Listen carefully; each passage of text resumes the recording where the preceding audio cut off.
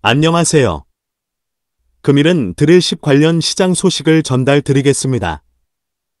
현재 원유 시장과 천연가스 시장은 장기간 안정적인 수요 및 가격이 유지되면서 유전 개발을 위한 운용 리그 대수가 증가하고 있습니다.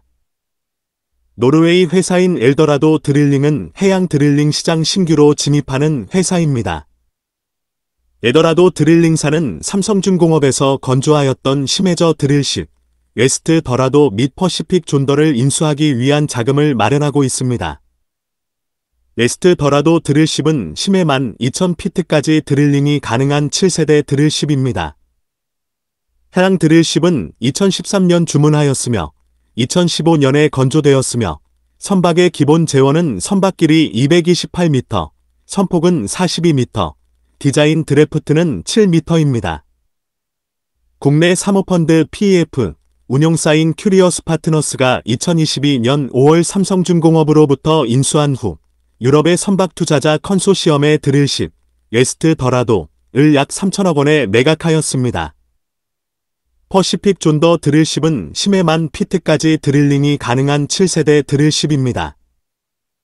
해양 드릴십은 2013년 주문하였으며 2015년에 취소되었으며 선박의 기본 재원은 선박길이 228m, 선폭은 42m, 디자인 드래프트는 9m입니다. 이들 선박들은 취소, 소송, 내각, 선박 인도 여러 과정을 거쳤습니다. 선박 계약 초기 금액은 5억 1,700만 달러 수준이었으며 선박 취소 소송을 통하여 3억 2천만 달러를 보상받기도 하였습니다. 국내 사모펀드 PEF 운용사인 큐리어스 파트너스가 2022년 5월 삼성중공업으로부터 인수한 후 2023년 4월에 엘더라도 드릴링사에 매각한 것입니다. 엘더라도 드릴링사는 2023년 1월에 웨스트 더라도, 2023년 4월에 퍼시픽 존더를 인수 계약을 하였습니다.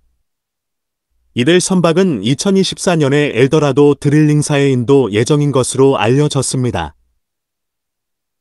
삼성중공업의 경우는 국내 사모펀드 운용사에 투자하여 큐리오스 파트너스를 만들고 미인도 드리십 내척을 1조 400억 원에 매각 처리하였습니다. 하지만 삼성중공업도 큐리오스 파트너스에 대한 지분이 있기 때문에 퍼시픽 존더의 선박 매각 인도는 이익 개선에 도움이 될 것으로 예상이 됩니다. 최근에 엘더라도 드릴링사는 드릴십인도 자금을 확보하기 위하여 노르웨이 은행 스페어뱅 1로부터 투자금을 유치하였습니다. 노르웨이 투자은행으로부터 투자 유치한 금액은 1억 3천만 달러이며 투자 금액은 선박 인수에 사용될 예정입니다. 선박 인수 후 선박 운용으로부터 나오는 수익으로 선박의 운용 자금으로 사용 예정인 것입니다.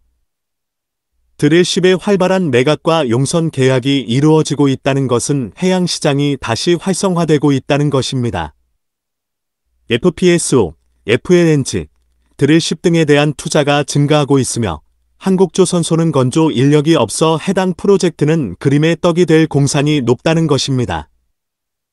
참으로 안타까운 현실입니다. 중국 조선소는 이내 전술과 일정 수준의 기술력으로 좋은 시장을 맞이하고 있으며 점차로 한국조선소를 앞서고 있는 것입니다. 선박, 해양 관련 산업 및 기술에 대한 궁금한 점이 있는 분들은 아래의 카페로 방문을 하시면 많은 정보와 도움을 받으실 수 있을 것으로 생각합니다. 감사합니다.